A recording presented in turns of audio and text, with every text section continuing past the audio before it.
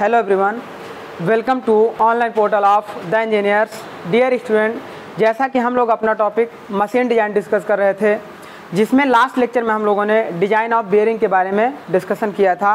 वहाँ पे हम लोगों ने रोलिंग कॉन्टैक्ट बियरिंग के बारे में पढ़ा था तो आज का टॉपिक हम लोगों का होगा स्लाइडिंग कॉन्टैक्ट बियरिंग तो आज का टॉपिक हम लोग स्टूडेंट स्टार्ट करेंगे design of sliding contact bearing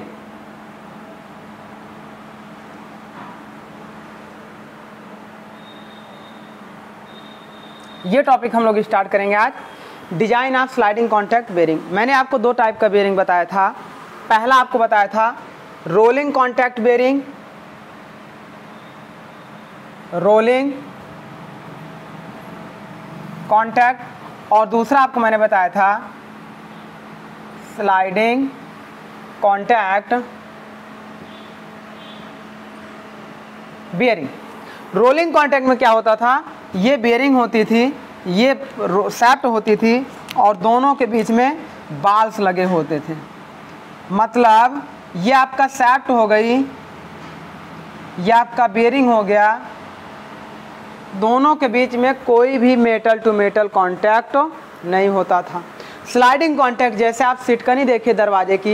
handle देखे जो बंद करते हैं वो आपके स्लाइडिंग कॉन्टैक्ट बेरिंग होंगे that means direct a metal to metal contact होगा यहाँ पे direct metal to metal contact होने की वजह से यहाँ पर जो मटेरियल आपका सॉरी जो हीट होगी बहुत ज़्यादा जनरेट होगी क्योंकि फ्रैक्शन बहुत ज़्यादा जनरेट होगा in sliding contact bearing power transmit by power transmit by friction और रोटेशन ऑफ सेफ्ट जब ये सेफ्ट हमारी रोटेट करेगी तो वो उसके ऊपर स्लाइडिंग मोशन के द्वारा पावर को ट्रांसमिट करेगी इसमें क्या होगा मैक्सिमम फ्रिक्शन फोर्स जनरेट होगा जिससे ये हमारा क्या होगा ड्यूरेबल कम होगा हीट ज़्यादा जनरेट होगा वियर ज़्यादा होगा लेकिन इसमें हैवी पावर को आसानी से ट्रांसमिट किया जा सकता है तो इस तरीके से ये हमारा हो जाएगा स्लाइडिंग कॉन्टैक्ट बेरिंग इस स्लाइडिंग कॉन्टैक्ट बेरिंग में हमारा होगा इन स्लाइडिंग कॉन्टैक्ट बेरिंग देखिए in sliding Contact bearing. Power transmitted by sliding motion of shaft. Power transmitted by sliding motion of shaft.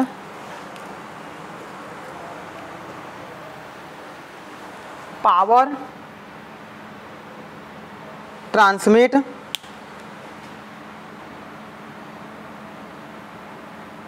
by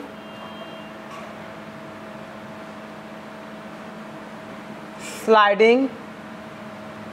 motion between shaft and bearing bearing और shaft के बीच में sliding motion देखिए ये अगर आप इस तरीके से इसे सेफ्ट मान मान लेंगे तो ये वाली जो इंटरनल सेप्ट है इस सेप्ट की बात करेंगे तो ये इसमें क्या होगा इस तरीके से स्लाइड भी करेगा और ये इसके अंदर ऐसे रोटेट भी करेगा तो जिस वजह से पावर हमारी इस सेफ्ट की इस में ट्रांसमिट हो जाएगी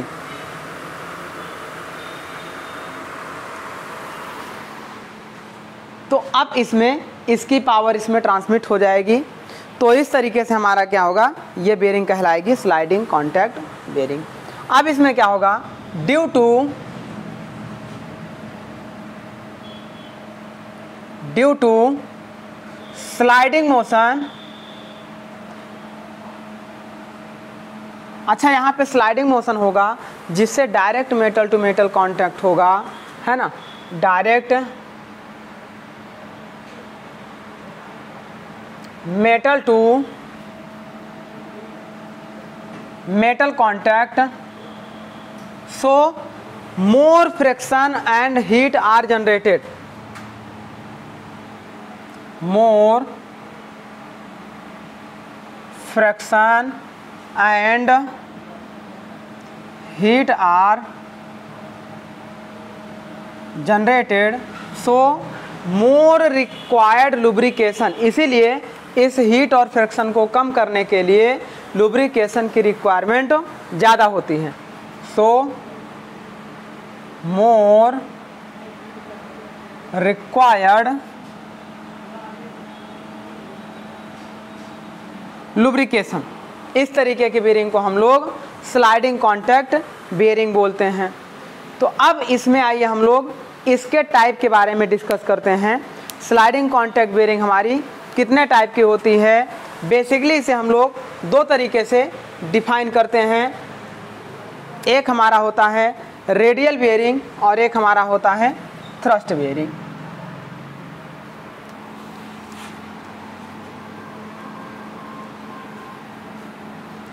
sliding contact bearing का हम लोग जब टाइप बताए थे आपको तो types of sliding contact bearing basically इसे हम लोग दो तरीके से क्लासिफाइड करते हैं पहला हमारा होता है ये रेडियल बियरिंग और दूसरा हमारा होता है थ्रस्ट बेयरिंग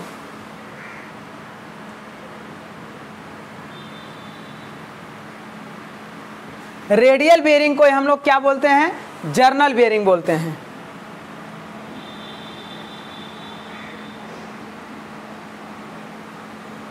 और यह हमारी होती है थ्रस्ट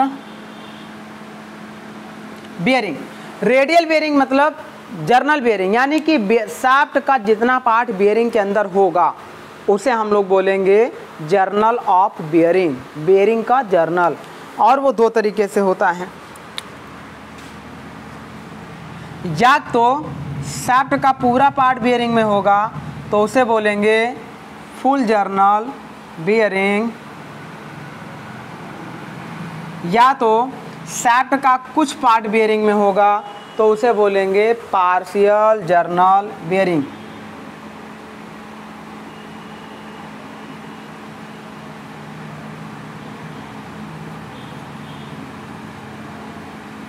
दो तरीके की बियरिंग होगी पार्शियल जर्नल बियरिंग और full journal bearing thrust bearing मैंने आपको दो तरीके से बताया था एक पीवोट बियरिंग बताया था और एक हमने बताया था कॉलर बियरिंग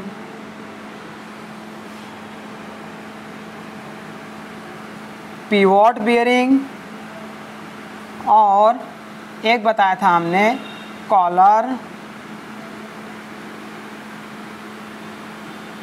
बियरिंग अब पीवॉट बियरिंग को दो तरीके से मैंने बताया था फ्लैट पीवॉट बियरिंग और कोनिकल पीवॉट बियरिंग इसको मैंने दो तरीके से बताया था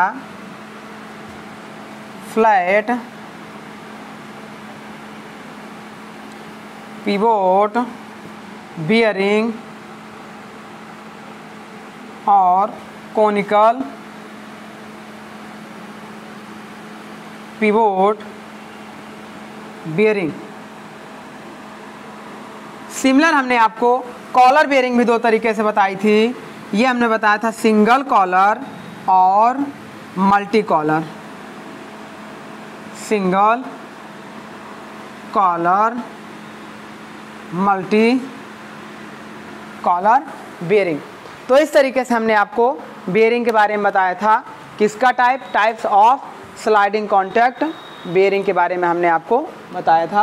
और स्लाइडिंग कॉन्टैक्ट बेयरिंग क्या होगी जो हमारा बेयरिंग केज के अंदर स्लाइडिंग मोशन प्रोड्यूस करेगी ये हमारा हाई पावर को ट्रांसमिट करती है हैवी वेट को सपोर्ट करती है और इसकी लाइफ ज़्यादा होती है हालांकि फ्रैक्शन होता है अब इसमें चलिए देखिएगा हम इसके बारे में और डिटेलिंग करेंगे इसको हालांकि लास्ट लेक्चर में आपने नोट किया था लेकिन फ़िलहाल इसको फिर से नोट कर लीजिए फिर इसके बाद हम लोग अब इसके आगे के डिज़ाइन प्रोसेस को डिस्कस करते हैं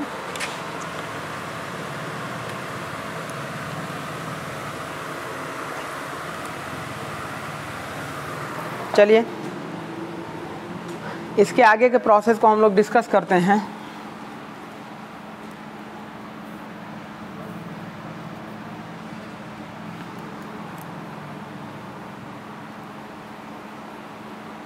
देखिए ये जो हमारा जर्नल बियरिंग होता है वो दो तरीके से होता है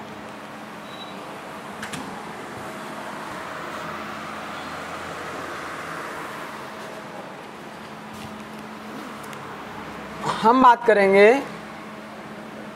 types of journal bearing types of journal bearing ये बेसिकली हमारी टू टाइप्स होती है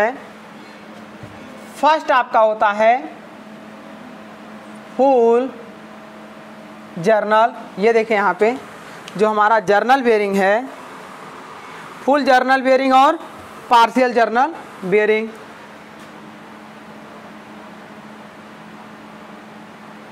partial journal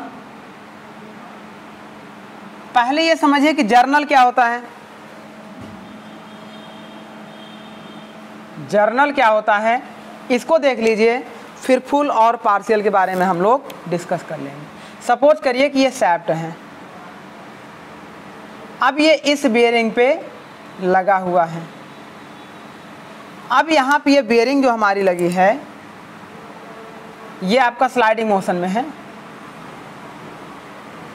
अब यहाँ पे देखिए सैप्ट का इतना पार्ट इसके अंदर है तो इस पार्ट को बोलते हैं जर्नल है ना part the part of shaft which is intermediate in bearing is called journal इसमें देखिएगा the part of shaft which is which is in in bearing cage is called journal अब पहला इसमें पढ़ते हैं फुल जर्नल बेयरिंग क्या होती है फिर पढ़ेंगे partial journal bearing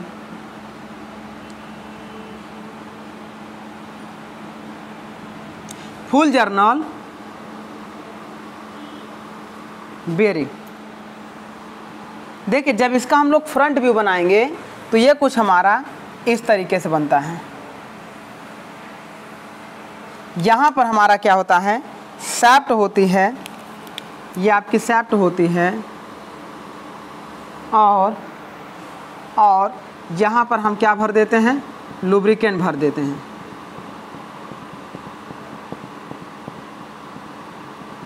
जिससे आपका बियरिंग का मेटल डायरेक्ट इस मेटल के कांटेक्ट में ना आ पाए और इसके प्रेशर की वजह से रोटेट करेगा और सपोर्ट करेगा ये इतना प्रेशराइज कर दिया जाएगा कि ये साफ्ट नीचे नहीं आएगी हाई स्पीड पर और मेन फंक्शन तो वही था कि साफ्ट को सपोर्ट करना और हैवी आर पी रोटेट कराना तो ये हमारा दोनों फंक्शन इसमें अचीव हो जाएगा अब इसमें देखिए फुल जर्नल बेयरिंग जो होती है वो थ्री टाइप्स की होती हैं वो हमारी पहला देखिए एट रेस्ट रेस्ट कंडीशन में जब ये फुल जर्नल बियरिंग होगी तो इसका देखिए हमारा कैसा डायग्राम बनेगा उस समय देखिएगा सपोज करिए ये सैप्ट हो गई ये बियरिंग इसे रुके मिटाते हैं फिर से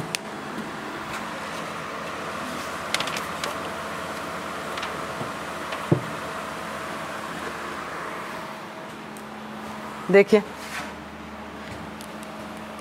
सपोज करिए ये सैप्ट हो जाए ये बेरिंग हो जाए तो अब ये जो सेफ्ट होगी आपकी वो कुछ यहाँ पर इस तरीके से रखी गई होगी जब ये रेस्ट कंडीशन में होगा तो यहाँ पर फ्लूड ऐसे भरे होंगे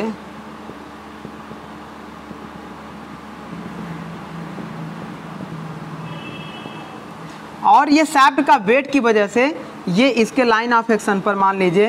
ये यहाँ पे है यहाँ पे आकर ये क्या हो जाएगा बैठा रहेगा ड्यू टू ग्रेविटी फोर्स या ड्यू टू सेल्फ फोर्स अब हम क्या करेंगे इसे स्टार्ट करेंगे स्टार्ट करेंगे एट स्टार्टिंग सेकेंड पॉइंट हो जाएगा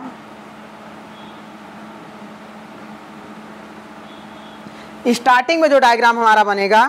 वो कैसा बनेगा देखें ये हमारी हो गई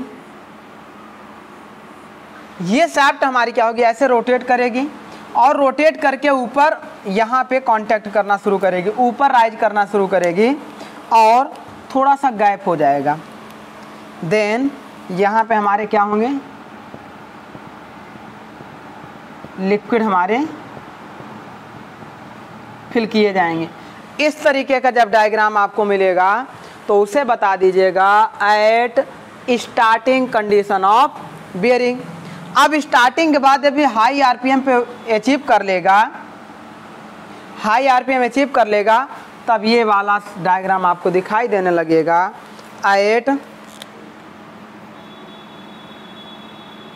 running condition running condition में हमारा क्या होगा इस तरीके से देखिए ये आपकी सेट होगी ये आपकी बेयरिंग होगी और ये बीच में लुब्रिकेंट आ जाएगा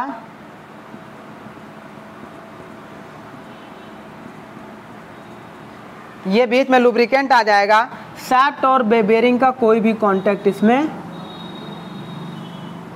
नहीं होगा इस तरीके की बेरिंग को हम लोग बोलेंगे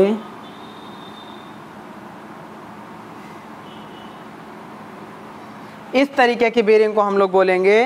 बियरिंग एट रनिंग कंडीशन जब बियरिंग हमारी क्या हो जाए रनिंग कंडीशन में आ जाए ये हो जाएगी सैप्ट और ये हो जाएगा लुब्रिकेंट और ये हो जाएगा आपका बियरिंग रेस तो इस तरीके कंडीशन को हम लोग बोलेंगे जर्नल बियरिंग दो तरीके का होगा फुल जर्नल बियरिंग और partial journal bearing full journal bearing में इसका जो रोटेशन होगा रोटेशन ऑफ सैप्ट इज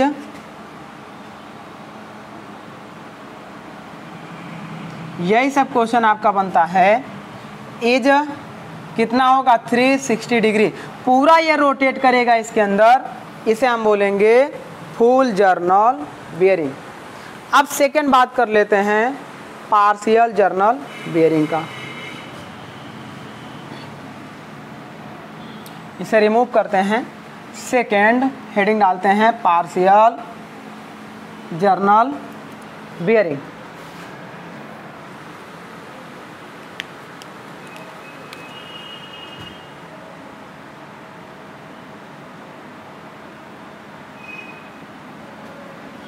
इसमें क्या होगा ये जो बियरिंग का सपोर्टिंग एलिमेंट है ये पूरा नहीं होगा केवल और केवल 120 डिग्री सेंटीग्रेड तक होगा दैट मीन्स अगर इसका हम डायग्राम बनाना चाहें तो ये हमारा कुछ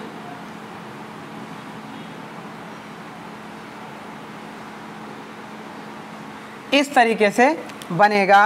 और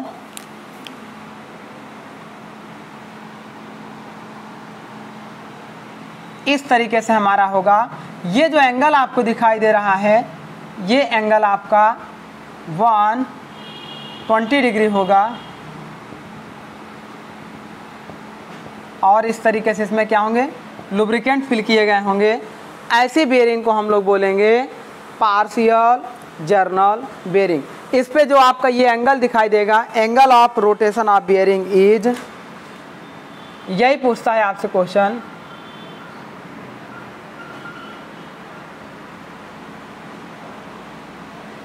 बियरिंग इज 120 डिग्री तो इस तरीके के बियरिंग को हम लोग बोलेंगे पार्शियल जर्नल बियरिंग तो ये हमारी हो जाएगी दो तरीके की बियरिंग अब इसे नोट करिए फिर हम लोग आगे बढ़ते हैं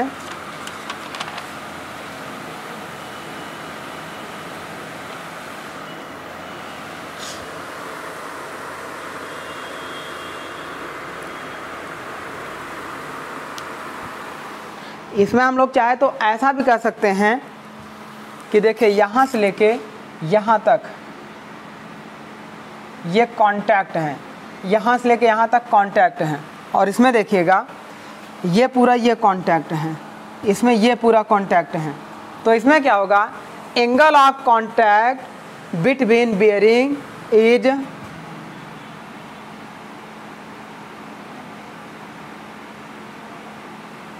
contact in bearing is या तो 180 डिग्री सेंटीग्रेड दे सकता है और 120 डिग्री दे सकता है तो इस तरीके की बियरिंग को बोलेंगे पार्शियल जर्नल बियरिंग चलिए नेक्स्ट हम देख लेते हैं पाइवोटेड बियरिंग हमारी क्या होती है जिसे हम लोग पिवोट बियरिंग बोलते हैं उसे हम लोग क्या कहते हैं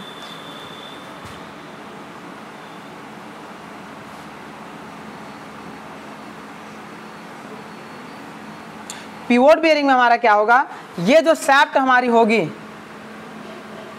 इस तरीके से वर्टिकल हमारी इस पर सपोर्ट करेगी और यहाँ पर ये जो बियरिंग लगे होंगे ये जो बियरिंग लगे होंगे ये सैप्ट वर्टिकल डायरेक्शन में रोटेट करेगी और इसे सपोर्ट करेगी इस तरीके के एलिमेंट को हम लोग बोलते हैं यहाँ पे जो बियरिंग लगा होगा इसे बोलेंगे पिवोट बियरिंग इसमें केवल रेडियल लोड हमारा बियरिंग में बियर करता है in this bearing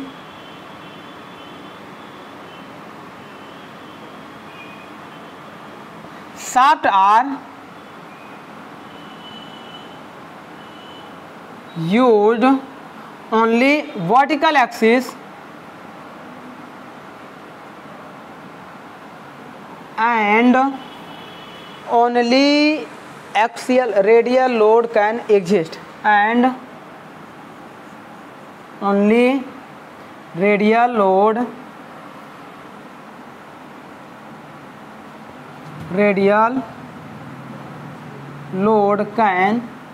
exist तो इस तरीके की बेरिंग को हम लोग बोलते हैं पिवोट बेरिंग ये दो तरीके से होती है फ्लैट पिवोट और कोनिकल पिवोट इसका जो यहाँ पे बेरिंग बनती है या तो ये फ्लैट होगी या तो ये इस तरीके की कोनिकल कोनिकल का मतलब इस तरीके की बनाई जाएगी तो इसे नोट करिए पीवोट बेयरिंग क्या होती है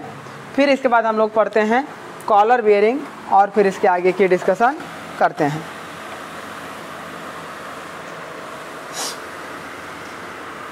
पीवोट बेयरिंग का अगर हम बनाना चाहें तो दो तरीके से हम लोग बना सकते हैं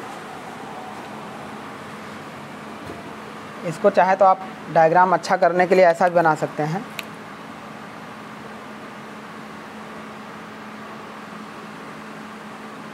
ऐसा भी बना सकते हैं अब ये जो बियरिंग होती है ये दो तरीके की होती है एक फ्लैट पीवोट होती है और एक कोनिकल पीवोट होती है यानी कि यहाँ पे देखिए ये जो बियरिंग आपकी बनेगी यहाँ पे ये जो सपोर्ट होंगे इसे बोलेंगे फ्लैट पीवोट बियरिंग और यहाँ पर इस तरीके की जो बेयरिंग होगी इसे बोलेंगे कॉनिकल पिवोट बेयरिंग तो इस तरीके से आप इन दोनों को नोट करिए देन हम लोग स्टार्ट करेंगे कॉलर बेयरिंग हमारी क्या होती है क्लियरेंस बेयरिंग क्या होती है और लुब्रिकेशन ऑफ बेयरिंग क्या होता है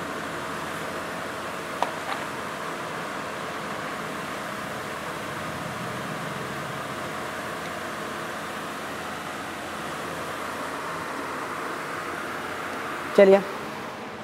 कॉलर बेयरिंग हम लोग पढ़ लेते हैं क्या होती है इसे रिमूव करते हैं यहीं पे हम लोग देख लेते हैं कॉलर बेयरिंग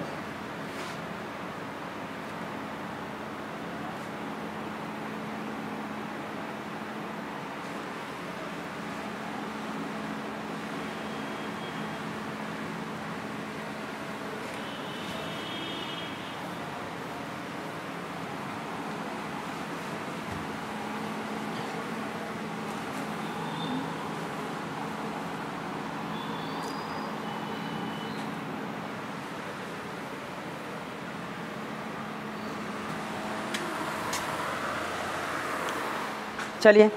अब बात करते हैं हम लोग कॉलर बेयरिंग के बारे में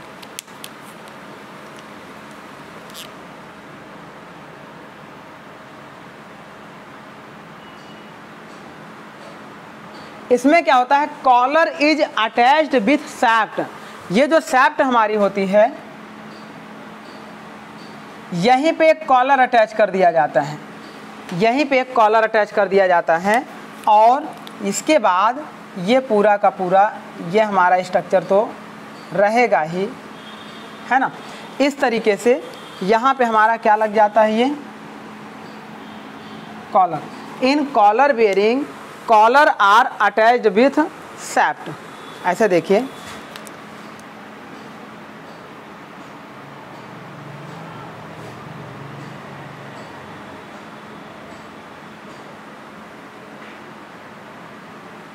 collar is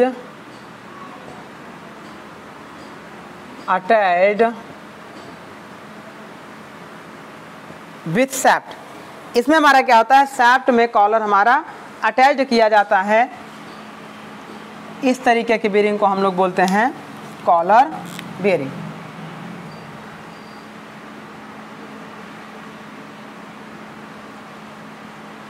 इस तरीके से इसका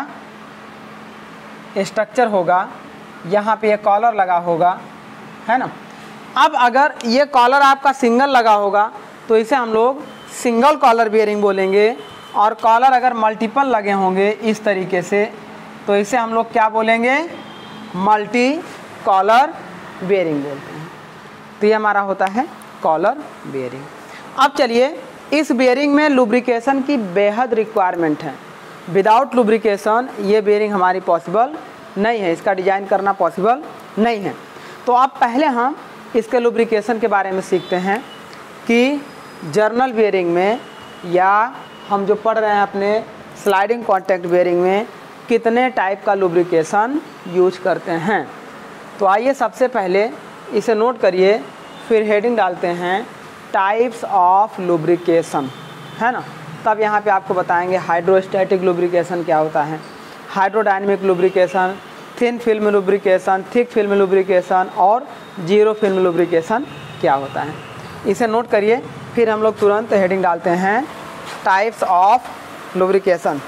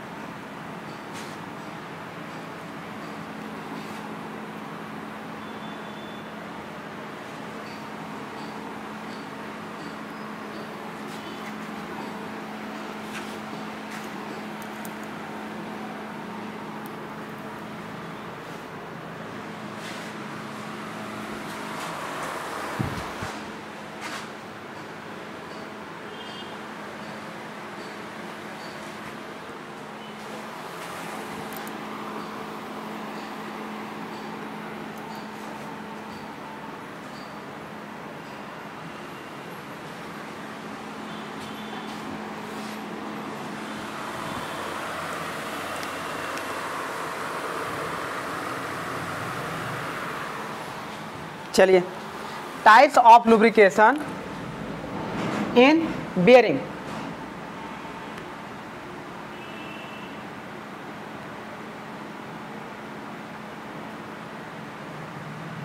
basically हम लोग दो टाइप का लुब्रिकेशन करते हैं according to thickness of lubricant ये देखिए यहाँ से लेकर यहाँ तक ये आपका क्या है लुब्रिकेंट का थिकनेस है ये ये ये सारे हमारे क्या हैं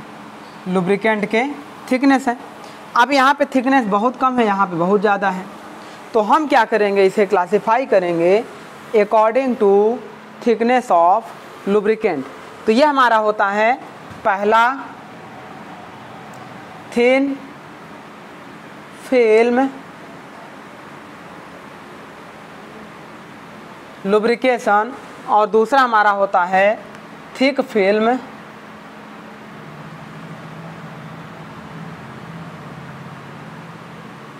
lubrication thin film का मतलब बहुत कम मात्रा में लुब्रिकेशन होगा बहुत पतली लेयर बनेगी मेटल टू मेटल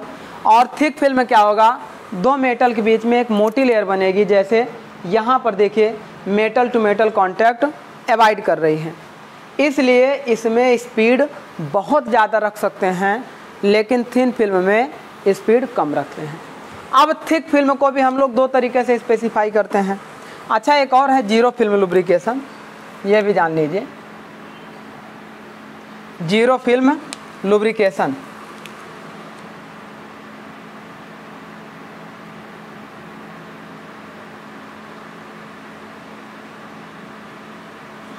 तो इस तरीके से तीन लुब्रिकेशन हमारा होता है जिसमें जो थिक फिल्म लुब्रिकेशन होता है इसे हम लोग दो तरीके से क्लासिफाइड करेंगे हाइड्रोस्टैटिक थिक फिल्म लुब्रिकेशन और हाइड्रोडाइनमिक थिक फिल्म लुब्रिकेशन ये हमारा होता है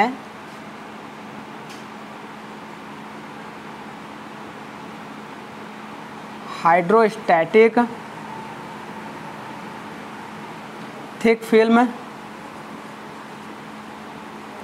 lubrication and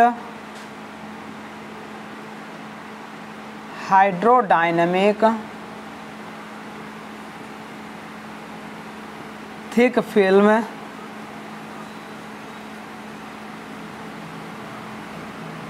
लुब्रिकेशन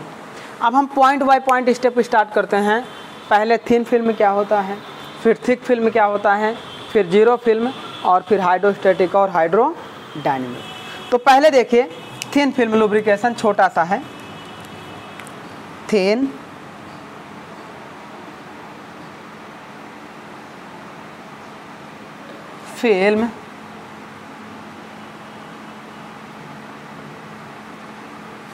लुब्रिकेशन देखिए थिन फिल्म लुब्रिकेशन में क्या होगा ये जो हमारा बियरिंग होगा और ये जो हमारी सेप्ट होगी इसके बीच ये जो लुब्रिकेशन होगा इसकी थिकनेस बहुत कम होगी लगभग निगलिजिबल होगी जिससे मेटल टू मेटल कांटेक्ट की संभावना या पॉसिबिलिटी ज़्यादा होगी जिस वजह से इसकी स्पीड हम हायर स्पीड नहीं रख सकते हैं in this lubrication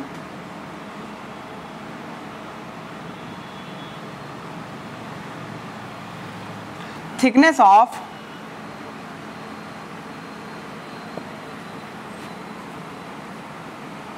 film of oil is very less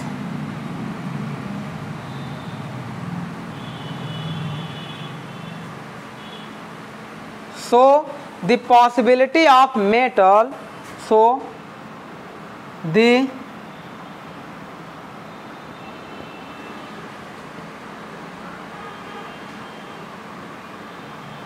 metal contact is very high तो ये हमारा होगा थिन फिल्म लुब्रिकेशन अब इसमें फॉर एग्जांपल ये जैसे हमारा हो गया एक मेटल और मान लीजिए ये कोई हम ऐसे मटेरियल बना दें और ये कोई हम ऐसे दूसरा मटेरियल बना दें अब इन दोनों के बीच में लुब्रिकेशन करना हो तो यहाँ पे ये जो लुब्रिकेशन का क्वांटिटी है ये बहुत कम हो बहुत कम हो इतना कम हो कि metal to metal direct contact की संभावना बनी रहे इसे बोलते हैं थीन फिल्म लुब्रिकेशन अब अगला बात करते हैं next point thick film lubrication चलिए नेक्स्ट पॉइंट हम लोग स्टार्ट करते हैं thick film lubrication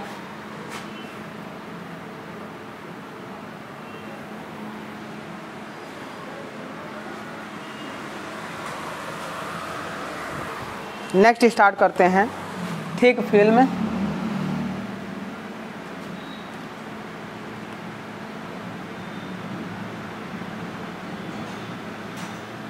लुब्रिकेशन इसमें हमारा क्या होता है दॉन्ट देखिए do not contact between do not direct contact between metal to metal do not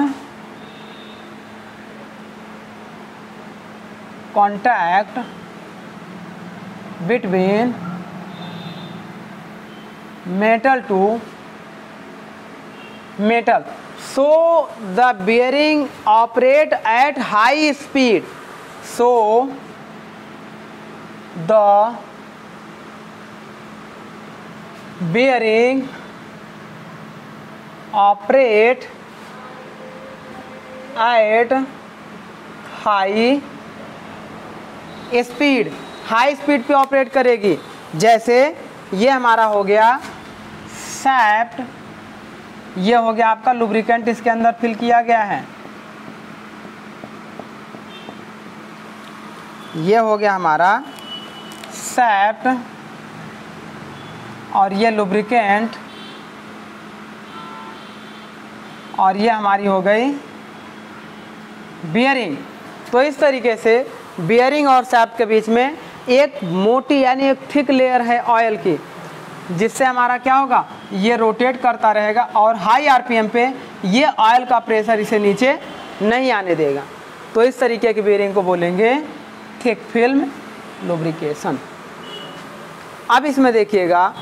इसका जैसे इस तरीके से अगर हम देखना चाहें तो मान लीजिए कुछ इस तरीके से कोई डायग्राम बना हो हमारा अब दोनों के बीच अगर लुब्रिकेशन की बात करें तो यहाँ पर देखिए एक हायर लेवल थिकनेस क्वांटिटी का लुब्रिकेशन लगभग इतना हमारा ये हो जाएगा इसे हम लोग बोलते हैं थिक फिल्म लुब्रिकेशन चलिए ये हमारा हो गया थिन फिल्म लुब्रिकेशन और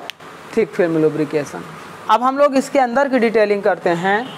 thick film lubrication hydrostatic lubrication क्या होता है और हाइड्रो डायनेमिक लुब्रिकेशन क्या होता है इन दोनों को डिस्कस करेंगे और जीरो फिल्म लुब्रिकेशन का मतलब सीधे मेटल टू मेटल कांटेक्ट होगा वहाँ पर no lubricants are available between two contacting of metal तो इसे नोट करिए फिर हम लोग इसके आगे की बात करते हैं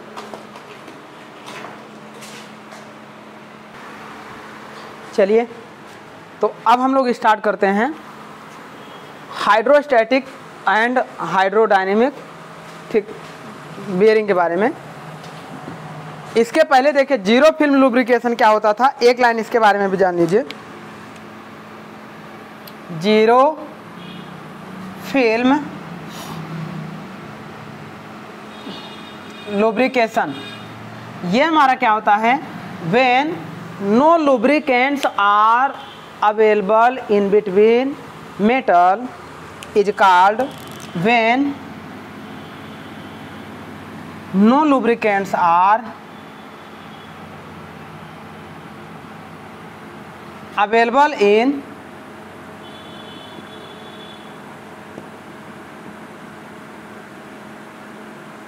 bearing जब बियरिंग में कोई भी लुब्रिकेंट अवेलेबल नहीं होगा तो उसे जीरो फिल्म लुब्रिकेशन बोलते हैं देन जीरो फिल्म लुब्रिकेशन के बाद चलिए स्टार्ट करते हैं हाइड्रोस्टैटिक और हाइड्रोडाइनमिक जो हमारा है थिक फिल्म लुब्रिकेशन का पार्ट तो चलिए यहीं पे स्टार्ट करते हैं hydrostatic and hydrodynamic lubrication bearing और एक टर्म आपको यहीं पे समझा दें इसेंट्रिक सिटी क्या होता है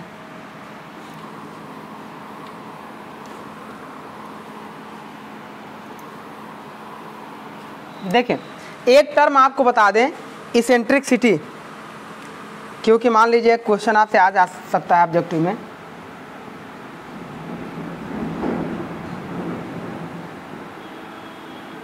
इसेंट्रिक सिटी मतलब क्या होता है जब देखिए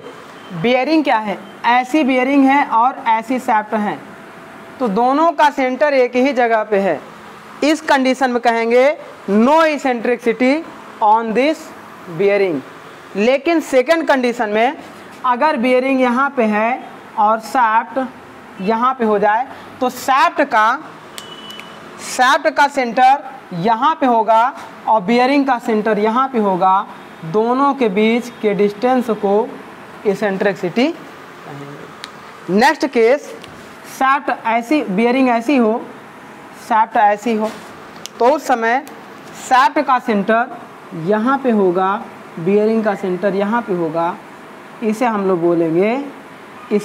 eccentricity of bearing distance between two centres of distance between centres of shaft and bearing is called eccentricity ऐसे देखें distance between shaft and bearing is called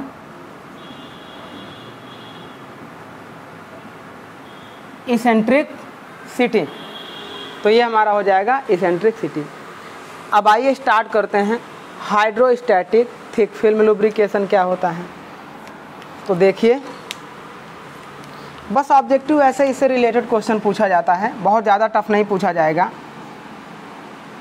hydro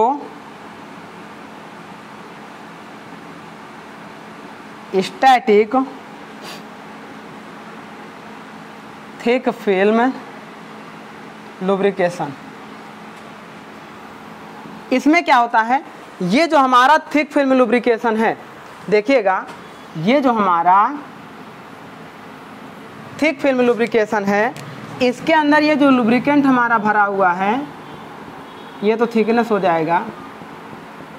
ये जो लुब्रिकेंट हमारा भरा हुआ है वो देखिए कैसे भरा जाता है यहाँ पर एक पंप लगा दिया जाता है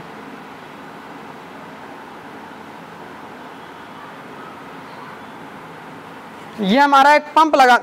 लगा दिया जाता है और लगातार ये पंप हमारा क्या करता है ऑपरेट करता रहता है और इसके प्रेशर को मेंटेन किए रहता है हाई प्रेशर होगा तो ये साफ्ट आपकी बिल्कुल सेंटर में रोटेट करेगी जब इस पंप का स्पीड लो कर देंगे तो इसका प्रेशर लो हो जाएगा तो ये साफ्ट आपकी नीचे जानी शुरू हो जाएगी और इस कंडीशन में आ जाएगी तो इस तरीके से when the pump are use for maintain the lubricant pressure in bearing is called hydrostatic thick film lubrication bearing ऐसे देखिए when the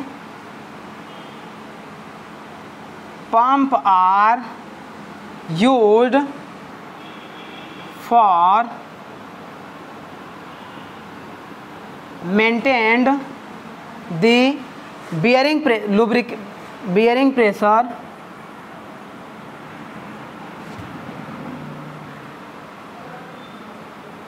of lubricant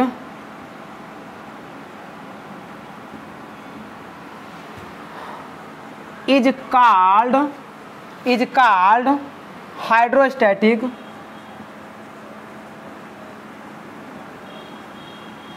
hydrostatic thick film lubrication तो ये हमारा हो गया hydrostatic thick film lubrication next बात कर लेते हैं हाइड्रोडाइनमिक थिक फिल्म लुब्रिकेशन की तो चलिए यहाँ पर बात कर लेते हैं हाइड्रोडाइनमिक थिक फिल्म लुब्रिकेशन की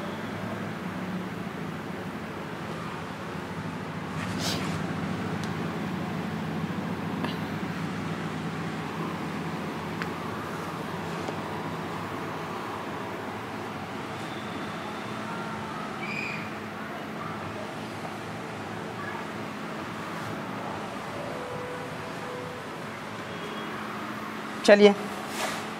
हाइड्रो डायनेमिक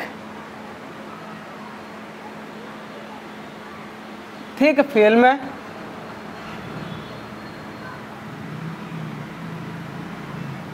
लुब्रिकेशन इसमें क्या होगा जैसे यहाँ पर पंप यूज किया जाता था अच्छा इसमें देखिए पहले से ही इसमें लिक्विड को डाल दिया जाता है उसके बाद इसे चारों तरफ से कवर्ड कर दिया जाता है अब ये हाई स्पीड पर रोटेट करेगा तो वो कवर ही उसे रोकेगा और वहीं पे वो प्रेशर को मेंटेन करके रखेगा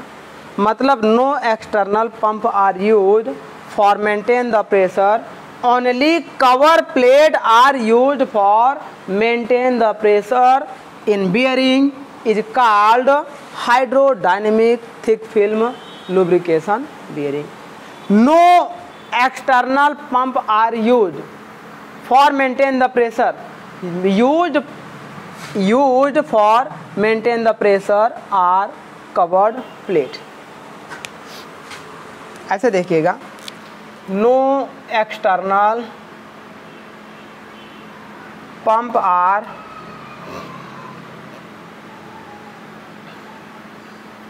use only only हमारे क्या cover plates are use for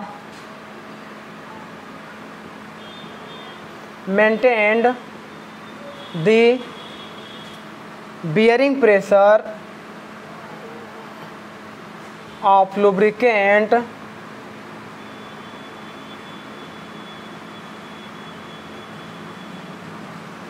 is called hydrodynamic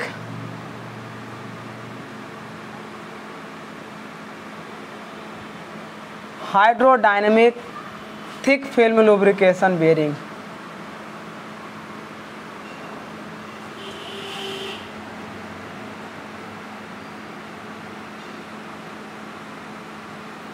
hydrodynamic thick film lubrication bearing तो ये था स्टूडेंट हम लोगों का बियरिंग कितने टाइप का होता है और हमने पहले डिजाइन कर लिया था रोलर बियरिंग के बारे में अब आइए कुछ इम्पॉर्टेंट पॉइंट्स इसे पहले नोट कर लीजिए फिर इससे रिलेटेड इम्पॉर्टेंट पॉइंट हम लोग डिस्कस करेंगे इसके लिए यही डायग्राम होगा इसीलिए इस डायग्राम को भी हमने रिमूव नहीं किया था ये वाला डायग्राम होगा आपका हाइड्रोडाइनमिक थिक फिल्म लुब्रिकेशन का इसे नोट करिए फिर इससे रिलेटेड कुछ हम लोग टर्मिनोलॉजी को समझते हैं क्या होता है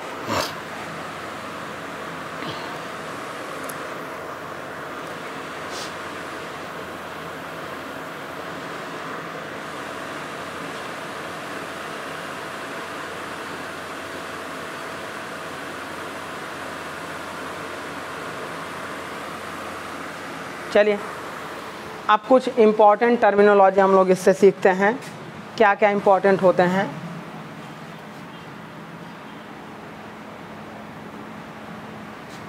बियरिंग से related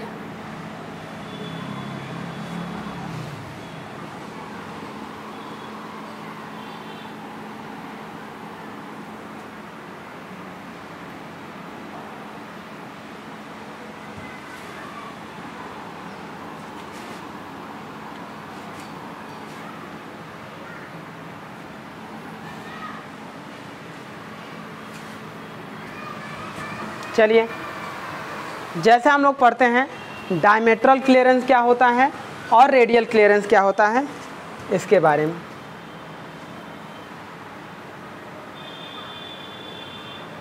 diametral clearance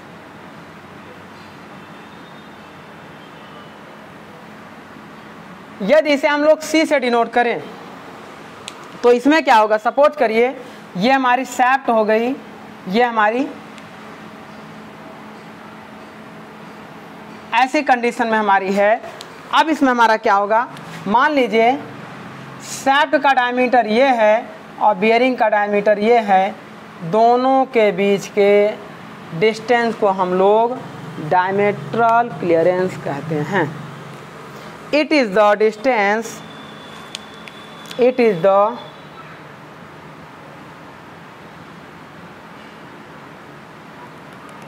distance between between bearing center and shaft center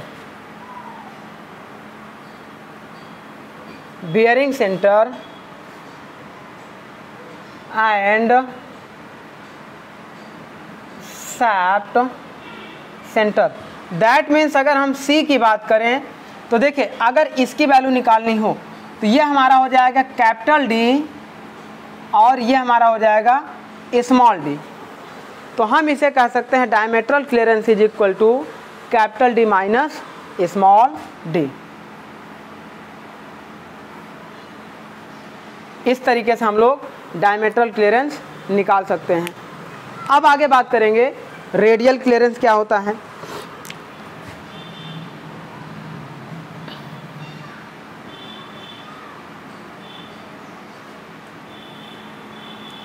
radial clearance हमारा क्या होगा it is the distance between radial of radial मतलब radius of bearing and shaft it is the distance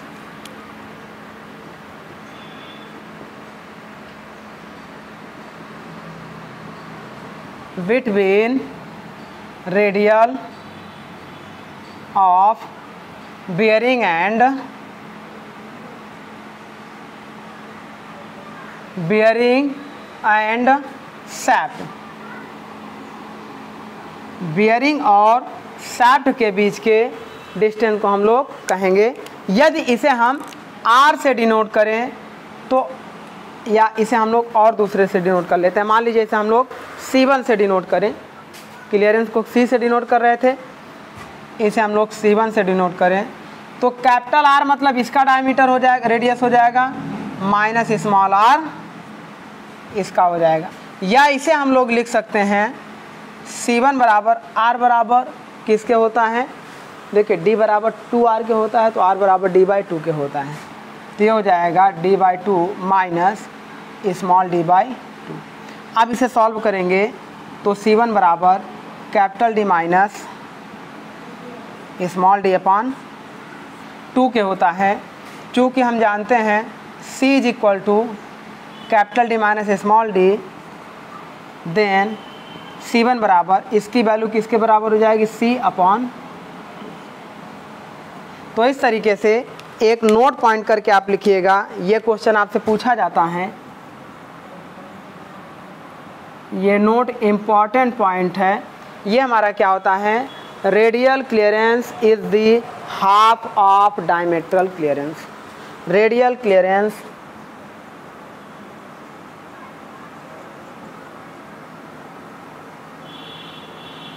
is the half of diametral clear तो इस तरीके से इसे आप नोट करिए रेडियल क्लियरेंस और डायमेट्रल क्लियरेंस को चलिए फिर इसके बाद हम लोग और आगे की बात डिस्कस करेंगे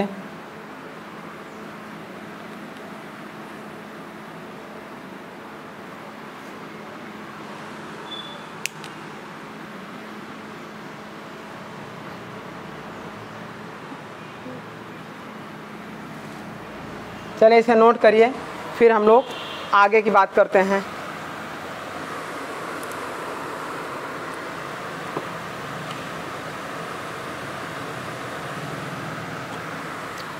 एक टर्म आपसे पूछा जाता है डायमेट्रल क्लियरेंस रेशियो क्या होता है ये टर्म आपसे पूछा जाता है डायमेट्रल क्लियरेंस रेशियो तो ये रेशियो क्या होता है it is the ratio between diametral clearance C and dia of journal journal मतलब ये सेफ्ट हमारा होता है it is the ratio between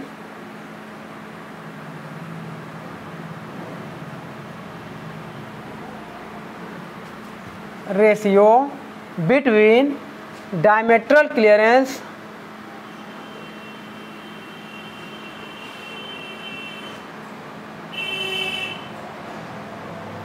and and dia of journal मतलब सैप्ट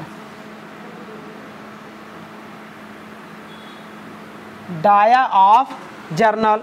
अब देखिए डाया ऑफ जर्नल मान लीजिए इसको हमने स्मॉल डी माना था अब बियरिंग का डाया कैपिटल डी माना था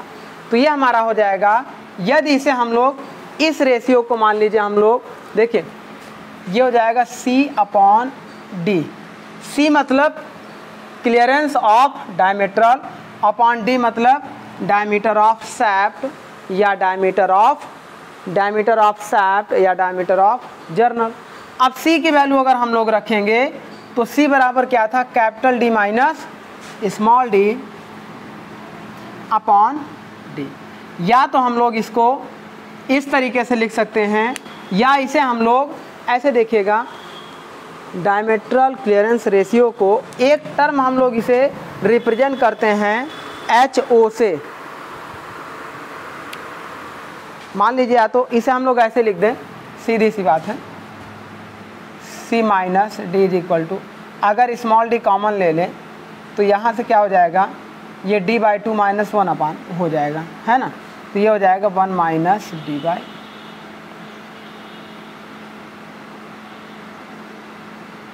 इस तरीके से भी हो जाएगा ये हमारा होता है डायमेट्रॉल क्लियरेंस रेशियो अब इसके बाद इसे नोट करिए फिर एक रेशियो हम लोग पढ़ते हैं मिनिमम ऑयल थिकनेस हमारा क्या होता है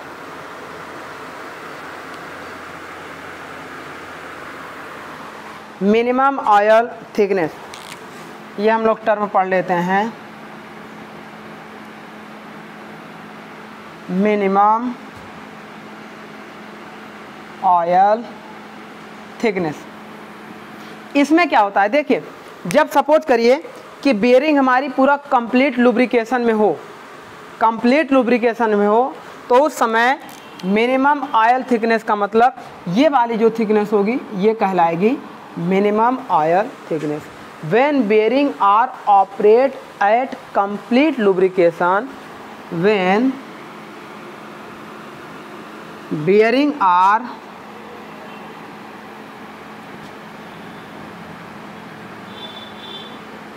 operate at complete lubrication then then it is called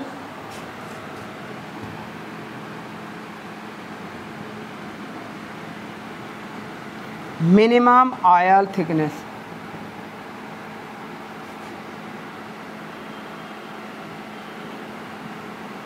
और यह हमारा जो मिनिमम ऑयल थिकनेस यदि इसे हम एच ओ से डिनोट करें तो एच ओ बराबर सी बाई फोर के होता है यदि इसे हम एच ओ से डिनोट करें तो यह हमारा होता है डायमेट्रल क्लियरेंस जो हमारा होता था capital D minus small D के देखिए ये सपोज करिए कैपिटल डी हो गया अगर यहाँ पे देखिए ये स्मॉल डी हो जाए मान लीजिए ये हो जाए स्मॉल डी और ये हो जाए कैपिटल डी तो बीच का ये जो क्लियरेंस यहाँ पे मत देखिएगा यहाँ पे मत देखिएगा ये वाला जो क्लियरेंस होगा इसे हम लोग बोलते हैं डायमेट्रल क्लियरेंस सी ये हमारा होता है डायमेट्रल क्लियरेंस सी यदि सी में बाई फोर कर देंगे तो यहाँ पे मिनिमम ऑयल थिकनेस हमारा इस तरीके से निकल जाएगा तो ये हमारा होता है मिनिमम ऑयल थिकनेस यहाँ पे आप इसकी वैल्यू फाइंड कर रहे थे ये डायग्राम थोड़ा सा उल्टा बन गया था इसकी वैल्यू फाइंड कर रहे थे दैट मीन्स ये वैल्यू प्लस ये वैल्यू ये क्या होगा टोटल वैल्यू में से इस वैल्यू को माइनस कर देंगे तो निकल जाएगा बाकी जो हम लोग निकाल रहे थे इसको तो ये हमारा हो जाएगा एक सेंटर ये होगा एक सेंटर ये होगा दोनों के बीच की वैल्यू हम लोग कहेंगे सी वन तो इस तरीके से ये सब इम्पॉर्टेंट पॉइंट चल रहे हैं जो एग्ज़ाम में आने की संभावना रहती है इसे नोट करिए फिर उसके बाद हम लोग आगे की बात करते हैं कुछ और इम्पॉर्टेंट पॉइंट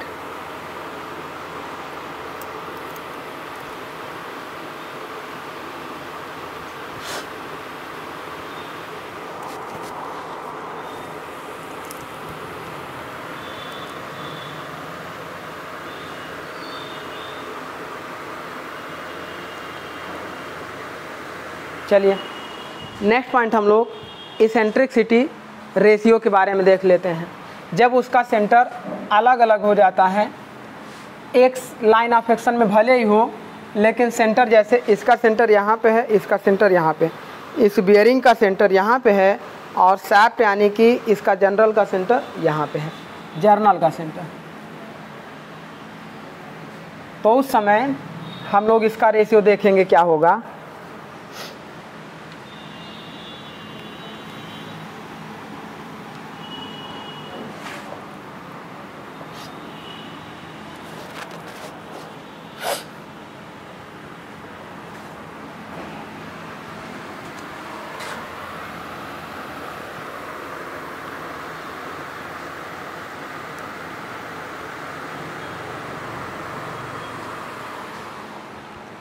आइए हम लोग पढ़ते हैं eccentricity ratio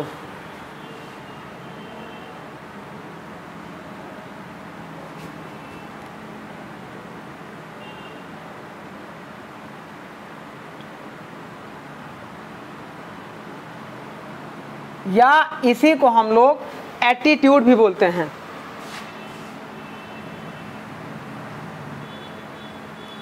attitude eccentricity ratio और एटीट्यूड ये हमारा होता है it is the ratio between eccentricity C and the diametral clearance या radial clearance C one it is the ऐसे देखिएगा it is the ratio between eccentricity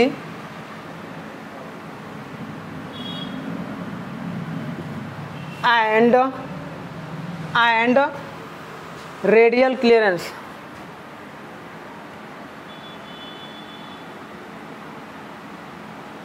मतलब जैसे देखिएगा ये यहाँ से लेके यहाँ तक ये यह हमारा क्या है एसेंट्रिक सिटी है और नहीं सॉरी यहाँ से लेके यहाँ तक जैसे सपोज करिए इसका डायमीटर ये है इसका डायमीटर ये है इसके बीच के डिस्टेंस को हम लोग बोलेंगे डायमेट्रल क्लियरेंस लेकिन अगर ये इस तरीके से बन जाए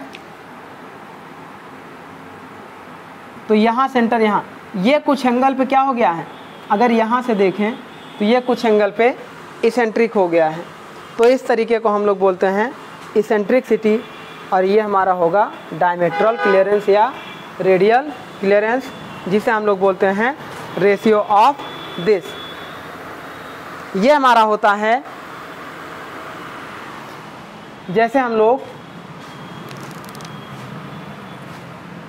इसे हम लोग कह सकते हैं मान लीजिए सिग्मा से डिनोट करें तो सी अपॉन सी वन कह सकते नहीं इसेंट्रिकसिटी को हम लोग ई e से डिनोट करते थे या इसे हम लोग एक फार्मूला और याद रखिएगा C minus H O upon C one लिख सकते हैं या इसे हम लोग one minus H O upon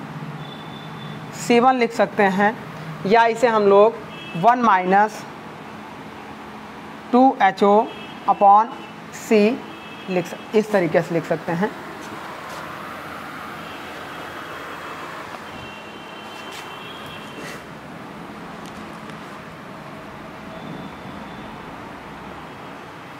upon C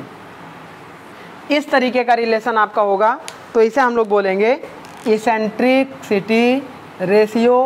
या एटीट्यूड तो ये हमारा हो जाएगा एक इम्पॉर्टेंट फार्मूला नेक्स्ट चलिए अब इसके आगे हम लोग पढ़ते हैं ये सब एग्ज़ाम के रिलेटेड इम्पॉर्टेंट फार्मूले हम लोग देख रहे हैं क्योंकि कोई भी फार्मूला आपका डायरेक्ट ऑब्जेक्टिव से हिट किया जा सकता है इसे भी नोट करिए फिर इसके बाद आगे हम लोग देखते हैं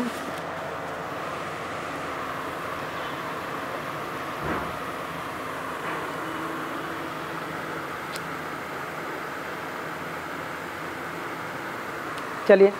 हम लोग थोड़ा सा देख लेते हैं शॉर्ट एंड लॉन्ग बियरिंग का फार्मूला क्या होता है जैसे शॉर्ट एंड long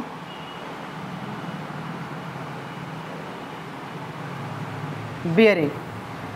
जैसे सपोज करिए ये हमारी सेप्ट होती है और ये हमारी मान लीजिए बियरिंग लगी हुई है चलिए ये सेप्ट हो गई और ये बियरिंग लगी हुई है ये सेप्ट आपकी रोटेट कर रही है अब यहाँ पे क्या होगा इस सेप्ट का डायमीटर डी होगा और इस बेयरिंग का भी डायमीटर या बेरिंग शाफ्ट की लेंथ एल मान लीजिए यहाँ से लेके यहाँ तक ये शाफ्ट की लेंथ एल हो जाए और डायमीटर डी हो जाए तो अब यहाँ से क्या हो जाएगा length upon diameter is called is denoted the short and long length of bearing ऐसे देखिए L by D is denoted the length of bearing that means अगर हम पॉइंट वन की बात करें शॉर्ट लेंथ बेरिंग क्या होगी वेरी वेरी इंपॉर्टेंट है पूछा जाता है बहुत बार short length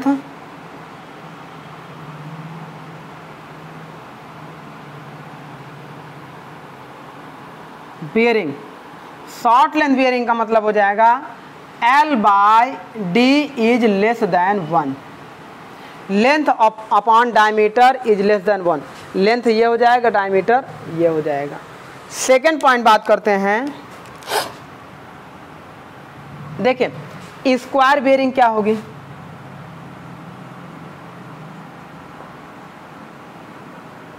स्क्वायर बेरिंग का मतलब लेंथ और डायमीटर आपका क्या हो जाए समान हो जाए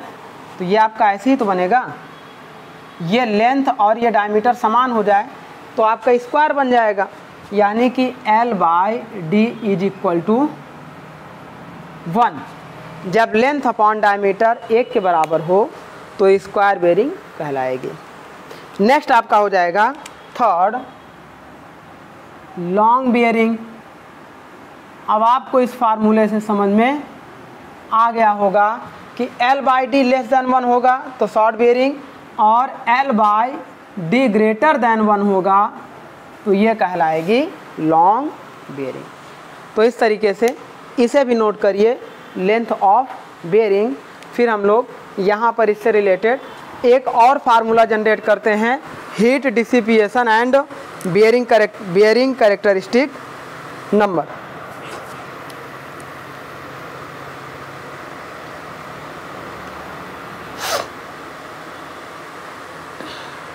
इसे नोट करिए फिर आगे हम लोग डिनोट करते हैं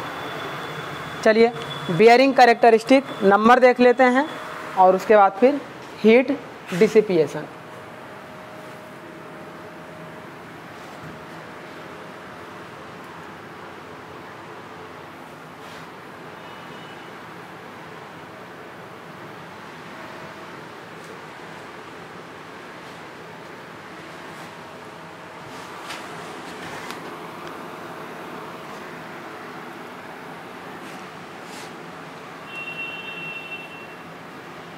एक और टर्मिनोलॉजी हम लोग देख लेते हैं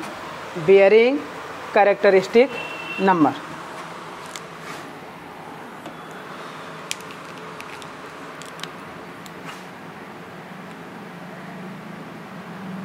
यह भी पूछा जाता है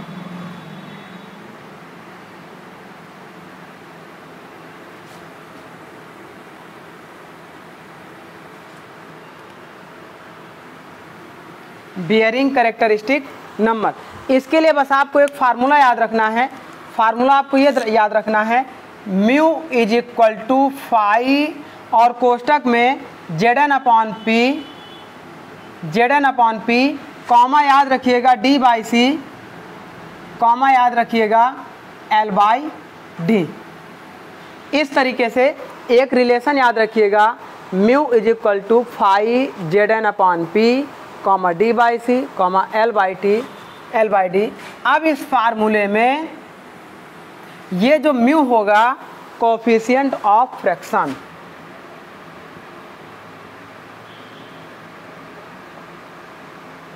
coefficient of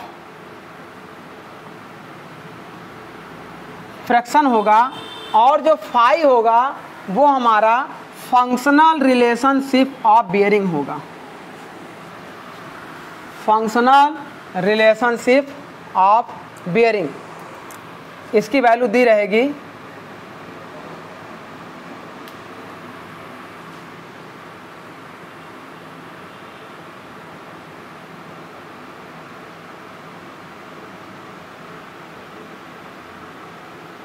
और इसके बाद जो सी हमारा होगा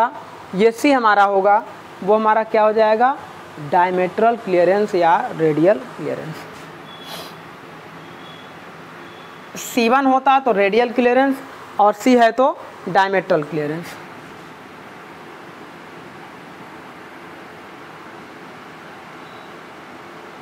और Z N upon P is called bearing characteristic number यही हमारा होता है Z N upon P is called bearing characteristic number Z N upon P a जो हमारा होगा यही हमारा बियरिंग करेक्टरिस्टिक नंबर कहलाता है है ना तो इस तरीके से ये हमारा निकल जाएगा बियरिंग करेक्टरिस्टिक नंबर ये भी हमारे लिए एक इम्पॉर्टेंट फार्मूला होता है अब एक लास्ट फार्मूला देखिए जब ये बेरिंग हाई स्पीड पर रोटेट करेगी तो यहाँ पर फ्रिक्शन की वजह से हीट जनरेट होगी वो हीट इस ऑयल के माध्यम से लॉस होकर आगे रिजेक्ट होगी तो कितना हीट लॉस होगा कैसे रिजेक्शन होगा उसके लिए बस आप एक फार्मूला जान लीजिए क्योंकि डेरिवेशन नहीं आएगा केवल फार्मूला आएगा और वो फार्मूले का क्या नाम होगा हीट जनरेशन इन बियरिंग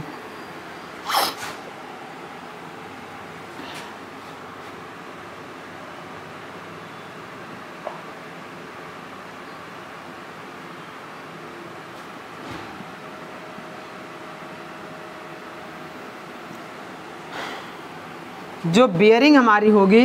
उसमें हमारा कितना हीट जनरेट हो सकता है या कितना हीट हमारा लॉस हो सकता है उसके लिए देखिएगा हमारा क्या होता है देखिए यदि हमारा हीट जनरेट होगा तो फ्रैक्शन की वजह से पावर लॉसेस होंगे तो कितना पावर लॉस होता है वो देख लीजिए पावर लॉस ये जो पावर लॉस अगर हम लोग इसे पी लॉस पढ़ें तो पावर लॉस हमारा किसके बराबर होता है जो हमारे पास W होता है लोड और जो हमारे पास फ्रैक्शनल वेलोसिटी भी होती है उसमें कोफिशियंट ऑफ फ्रैक्शन का मल्टीप्लाई कर देते हैं तो ये हमारा निकल आता है पावर लॉस इसमें जितनी पावर क्या हम 10 किलोवाट पावर दे रहे हैं ड्राइवर को तो पूरी की पूरी 10 किलोवाट इस पर सर्वाइव कर जा रही है कुछ फ्रैक्शनल लॉसेस की वजह से लॉस में चली जाती हैं तो वही जो पावर हमारी लॉस में होगी वो किसके होगी W इज इक्वल टू हमारा क्या है वेयर W बराबर रेडियल लोड ऑफ बेयरिंग जो रेडियल ऊपर से ऐसे लगा होगा रेडियल लोड कॉमा म्यू बराबर आपको पता है कोफिशियंट और v बराबर आपका क्या है फ्रैक्शनल वेलोसिटी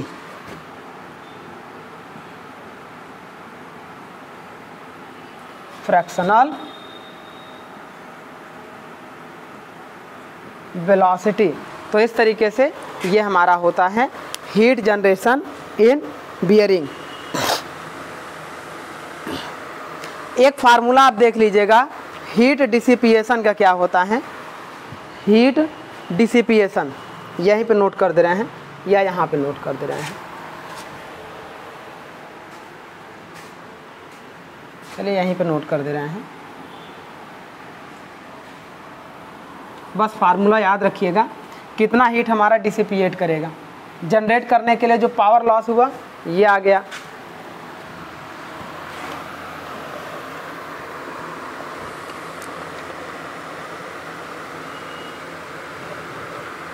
चलिए हीट डिसिपिएशन इन बेरिंग के लिए फार्मूला देख लीजिए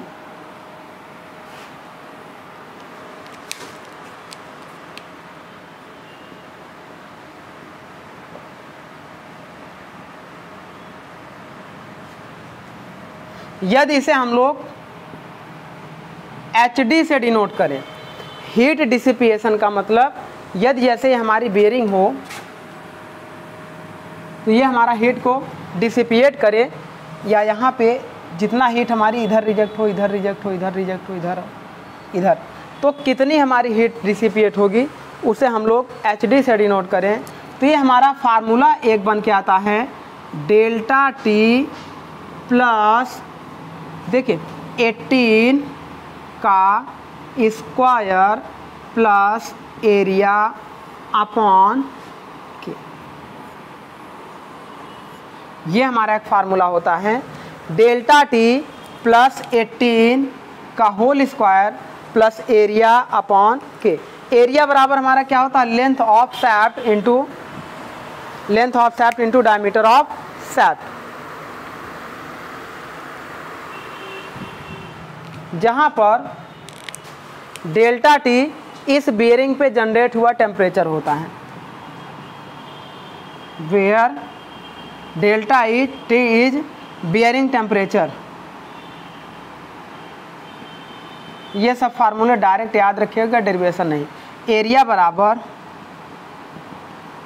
A is equal to L into D of journal and के आपका क्या है एक कांस्टेंट है जिसकी देखिए दो वैल्यूज़ होती हैं आपका के 0.484 होता है या 0.273 के की दो वैल्यू होती है 0.48 से 4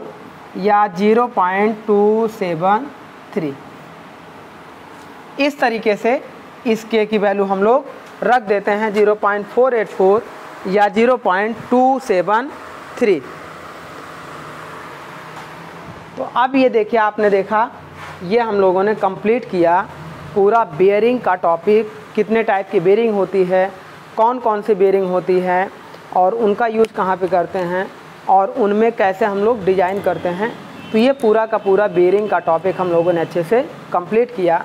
आई होप आपको सारी चीज़ें अच्छे से क्लियर हुई होंगी तो हम लोग स्टूडेंट अपना टॉपिक यहीं पे कंप्लीट करेंगे और लास्ट लेक्चर हम लोग एक टॉपिक हमारा बचा हुआ है gear design most important topic होता है जो टॉम में भी आता है टॉम मतलब थ्योरी ऑफ मशीन में भी और मशीन डिजाइन में भी आता है तो इसको भी हम लोग कम्प्लीट करेंगे नेक्स्ट लेक्चर में फिर इसके बाद हमारा मशीन डिजाइन का सब्जेक्ट अच्छे से कम्प्लीट हो जाएगा